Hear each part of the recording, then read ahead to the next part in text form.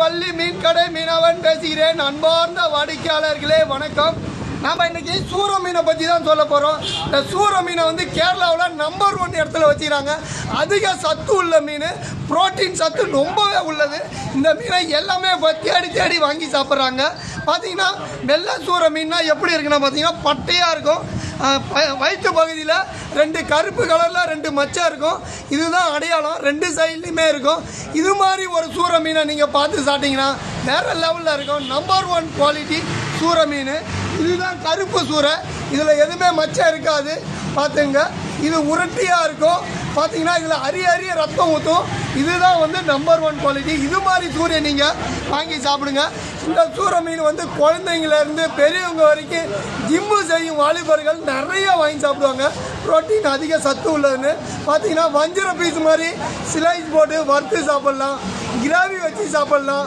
புட்டு வச்சு சாப்பிட்லாம்.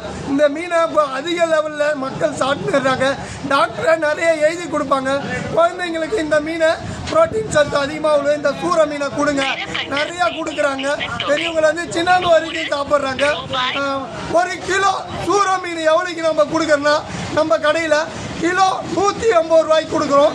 இன்றைக்கி ஆஃபரில் யாருமே மிஸ் பண்ணிடாதீங்க சார் இந்த ரேட்டு கிலோவுக்கு ரெண்டு பீஸு மூணு பீஸு வர மாதிரி இருக்குது.